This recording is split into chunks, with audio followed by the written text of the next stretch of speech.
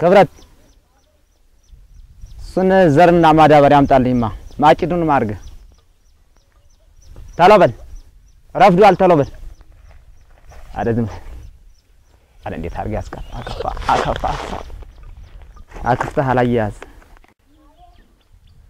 ዛሬ ንሳ እኔ ወደ ታች እርሻ እየሄድኩ ነው። ምናልባት በዚህ አራፋ ከብት ሊመጣ ይችላል።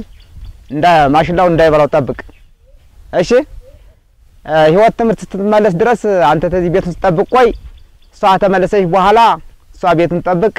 ደሳለኝ ሲመጣ እሱ ደግሞ ውሃ ይዞ ይምጣ። እናትህ ገበያ ሄዳለች። ንሳ ጠንቀቅ ብለህ ጠብቅ እንዳይበላ። ገነት አቤት እንዴት አደራችሁ? ዛሬ ነው እስከ እንዴት ሰላም አደራችሁ? ደህና አደር እንዴት ነህ? እንዴት ነህ? ደህና ሰነበት? እንደምን ነህ? እንደምን ነህ? ሰላም ነህ? ደህና ናችሁ? እንዴት ነህ? ዝናቡ እንዴት ነው? ዝናቡ አምሯል። ዘንድሮ ክረምቱ በጣም አመችቶናል። አይ መልካም የተመቸ ክረምት ነው የሆነ። በጣም አሪፍ በጣም አሪፍ። እንዲያው ጥሬውን ብቃያው በጣም ደስ ይላል። እሺ ገነት አቤት እንግዲህ በቀጠሯችን መሰረት ዛሬ ወደ ማሳ ሄደን ዩሪያ ማዳበሪያ ከማሽላው ላይ እንደምትጨምር ተቀጣጥረን ነበር አይደለም እንዴ? አዎ ስለዚህ ከዘራ ነው 35ኛ ቀን ሆኖታል። ዛሬ ዩሪያ ማዳበሪያ ወይም ነጭ ብላችሁ የምትጠሩትን እሱን እንጨምራለን ፍሬ የሚያስዘውም ማለት ነው። በዚህ ተግባብተናል። ስለዚህ ወደ ማሳው እንሄዳለን። እንዴት ነው ዛሬ 35 ቀን ሆኖታል አይደል? ያልከው አንተ ባልከው መሰረት መስል ግን ሰኔ 22 23 እና ነው ሁኔታ ትክክለኛ ማለት ነው። እና አሁን ዛሬ እንግዲህ ያው ነጭ ማዳበሪያ ይኸው ቋጥሬ ይዣለሁ ባልከኝ መሰረት የሰላሳ አምስተኛ ቀኗ ነው። ያው እንግዲህ ከመጣህልኝ እንሄድ። ያው አዘጋጅቻለሁ። አቤት እሺ። አዎ ትንሽ ሳብ ይላል። ሳብ ይላል።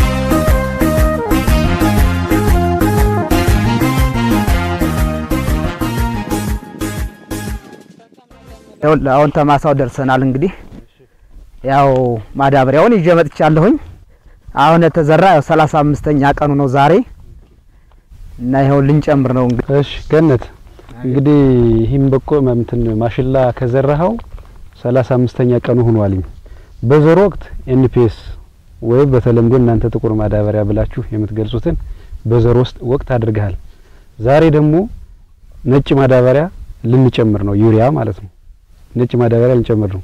አሁን ይህን ዩሪያ ጥቁር ማዳበሪያ ወይም ደግሞ NPS ኡ ለብቅለቱና ለጥንካሬው ለእድገቱ ሲረዳህ ይሄ ነጩ ማዳበሪያ ለምን ይረዳኛል ብለህ ነው አንተ ልታደርግበት የወሰንክ? አንተ ያው እንዳልከኝ እና እንዳ ትምህርቱ እንደሰጠኝ ታሁን ቀደም NPS ተጠቅም ያለሁኝ አሁን ግን ይኸው ዛሬ ያው ከሰላሳ አምስተኛ ቀኑ ጀምሬ ያው ነጭ ማዳበሪያ ይኸው እየጨመርን ነው ያለንን። አሁን ይሄ ነጭ ማዳበሪያ ትክክለኛ ያው ፍሬው እድገቱ ቅጠሉ እድገቱና ፍሬው እንዲጨምር እና አሁን ደግሞ ይኸው ታለው አሁን ተዚህ ተማየው ይሄ እድግ ብሎ ስላየኝ ያው በመደሰት ያው ዛሬ ነጭ ማዳበሪያ ልጨምር ተዘጋጅቼ መጥቻለሁ።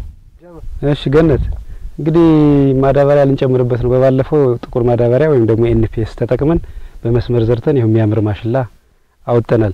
ስለዚህ ይህም ደግሞ በሰላሳ አምስተኛ ቀኑ ነጭ ማዳበሪያ ወይም ዩሪያ ማድረግ ስላለብን አሁን ያንን ልታደርግ ተዘጋጅተህ ዩሪያውንም ይዘህ እንግዲህ አንተ ስታደርግ የምታሳየንን ነገር ከተክሉ አንዷ ተክል ላይ ወደ ጎን ምን ያህል ሴንቲሜትር ራቅ ብለህ ታደርጋለህ? ሁለተኛ ጥያቄ ደግሞ ለአንዷ ተክል ምን ያህል ግራም ወይም ደግሞ በእናንተ በተለምዶ በምን ያህል ምን ያህል ኮርኪ ያስፈልጋል ብለህ የምታደርጋት መጠኗን ትገልጽልናለህ። ተክሎ አስር ሰንቲሜትር ረቅ ብዬ ያው ግማሽ ኮርኪ ዝቅ እያረኩኝ አፈሩንን እየቀሰቀስኩ እያለበስኩኝ ተክሉን እያዳፈንኩኝ ለሁሉም አዳርሰዋለሁ እና ይኸው ላሳይህ በሌደ ደንበረዛ ጀምረን ነው ወደዚህ የምንመጣው እና እንግዲህ መቼም እህሏ እንኳን ጥሩ አምሯል። ደስ እያለች ነው። ለስልሳለች ልዩ ሆነች እኮ አዎ በጣም አምራለች። ልዩ ሆናለች። እንዲያው ቴክኖሎጂን መጠቀም ያስፈልጋል። አዎ እቸስ እሺ፣ ያው እንደምታዩት ያው እንግዲህ ያው በእናንተ ትምህርትና በስብሰባውም በእናንተም ያው በምሰጡነ ትምህርት ያው አስር ሴንቲሜትር እየራቅኩ እየጣልኩ እያለበስኩ ነው። እሺ ያው መቼም እንግዲህ ያው እንደምታዩት ያው ከዛሬ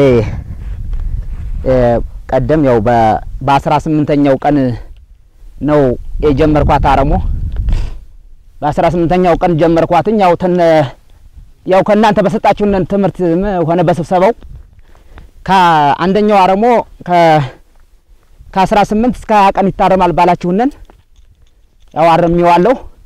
አሁን ደግሞ ያው በሰላሳ አምስተኛው ቀን ይሆናል ብላችሁ ያው የዛን ቀን ተሰብሰባው ሰምቻለሁኝ። በሰማሁት መሰረት በዚህ መሞከር አለብኝ ብዬ ልክ እናንተ እንዳላችሁኝ ይኸው እያረኩ ነው። ግን ከዚህ በኋላ ትክክለኛ የዚችን ልማትና የዚችን ጥቅም ታገኘው ከርሞ ሰፋ ባለመልኩ እና መሬቷን ሰፋ አድርጌ ያው አራት ቃዳ ነው አንድ ሄክታር የምትሉት እናንተ።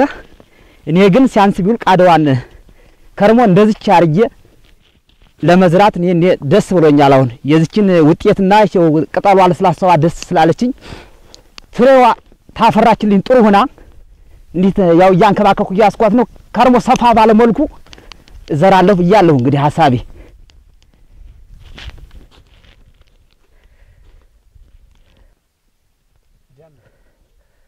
ያው በድጋሜ ያው አስር ሴንቲሜትር ያው ከዚህ ተክሏ አስር ሴንቲሜትር ርቄ ከዚህ የስንዝር ግማሽ ማለት ነው።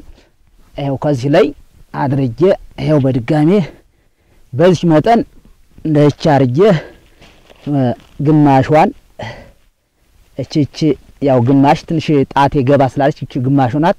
ግማሿን ይኸው ከአስር ሴንቲሜትር እንደዚች አርጌ ያን እንዳተን እንደዚች አርጌ አፈሯንን እየደፈንኩኝ እቀጥላለሁ።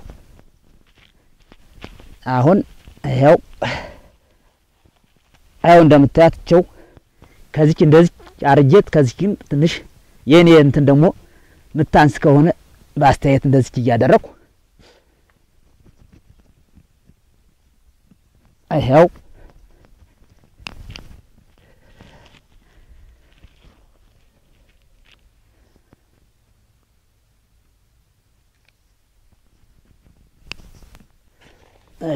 ጋሽ ብርሃን እና እስቲ በዚህ መልኩ ይኸው እንግዲህ ያው እየሰራሁ እንደዚህ እያደረኩኝ ሁላውን አዳርሸዋለሁ። እንግዲህ በጣም ጥሩ በጣም ጥሩ። ይሄን እንግዲህ ለውጡን ደግሞ እናያለን። እሺ እሺ ገነት፣ እንግዲህ ያው ዩሪያ ማዳበሪያ ጨምረናል። እንደምታየው በዚህ በመስመር ዘርተህ ማዳበሪያ ተጠቅመህ የበቀለውንና በብተና ተዘርቶ እንዲሁ ነው ቀጭጮ የቀረውን ስታየው፣ በዛ ላይ ደግሞ ይሄኛው በሀያ ሁለት ነው የተዘራ ሰኔ ሀያ ሁለት ያንኛው በአስራ ስድስት ነው የተዘራ። ያ ይቀድማል። ስለዚህ ቀድሞ ያማረና የተስተካከለ ቁመና ያለው ሰብል ይሄ ነው እንደምታየው። ስለዚህ አንተ በደንብ ስላሳየህን ለወደፊቱም ለሌሎቹ አርሶ አደሮች አርያ ትሆንላለህ ብለን ስለምናስብ በዚሁ በርታ፣ ቀጥል። ወደፊት እየተነጋገር የሚቸግርህ ሙያዊ ድጋፍ ካለ በቅርብ አለን፣ እናግዛለን። እየተጋገዝን እንቀጥላለን። ስላሳየን እናመሰግናለን አቶ ገነት። እኔም አመሰግናለሁ። እሺ አመሰግናለሁ። እሺ፣ ቻው፣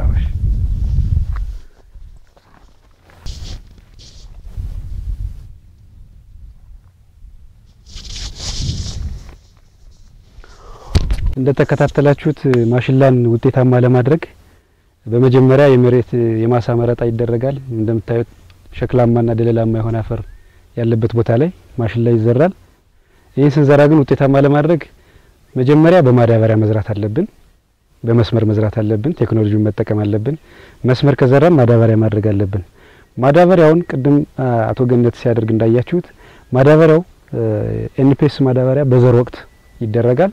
ከዛም በኋላ ከ18 እስከ 20 ባለው ቀን አንደኛ አረም ተኮትኩቶ ጥሩ እርጥበት ባለበት ሰዓት የዩሪያ ማዳበሪያ ከ35 ከ30 እስከ 35 እስከ 40 ባለው ቀን ንጹህ ከሆነ ከ35 እስከ 40 ባለው ቀን ዩሪያ ማዳበሪያ ይጨመራል። ይሄ አጨማመሩ እንዴት ነው? እንደምታዩት አመች ነው። ይሄ በመስመር የተዘራው አመች ነው። ከስሩ ካስጠጋነው ኬሚካል ስለሆነ ስሩን ሊያበላሽብንና ተክሉን ሊያደርቅብን ይችላል። ከስሩ ከተክሉ ስር አስር ሴንቲሜትር ራቅ ብለን ቆፈር አድርገን ዩሪያዋን ለእያንዳንዷ የምታስፈልጋትን ዩሪያ ጨምረን አፈር እናለብሳለን። የምናለብስበት ምክንያት ዩሪያ በባህሪው ተኖ ስለሚጠፋ ግልጽ ካረግ ነው ይተንና ይጠፋል። ጥቅም ላይ አላገኘም፣ ተክሉም አልተጠቀምንበትም ማለት ነው። በዚህ አንጻር ስታዩት እንግዲህ በመስመር መዝራት ምን ያህል እንደሚጠቅም፣ በመስመር ያለ መዝራት ምን ያህል እንደሚጎዳ እዚሁ ላይ በግልጽ ማየት ትችላላችሁ። ይህ በመስመር የተዘራ ሰብል ነው። ይህኛው በብተና የተዘራ ሰብል ነው። ይህን እንደምታዩት ቀልቶና ቀጭጮ ነው የምታዩት። በሚገርም ሁኔታ ደግሞ ይህኛው የተዘራው ሰኔ 16 ነው። ይህኛው ደግሞ የተዘራው ሰኔ 22 ነው። የቀን ልዩነት አለው። ሁላችሁም እንደምታዩት ማነጻጸር ማወዳደር የምትችሉ ከሆነ ይህኛው ቁመቱ የት ነው? ይህኛው ቁመቱ የት ነው? በመልክም ሲታይ ይህኛው ጠቆር ያለ አረንጓዴ ነው፣ ይህኛው ቀልቷል።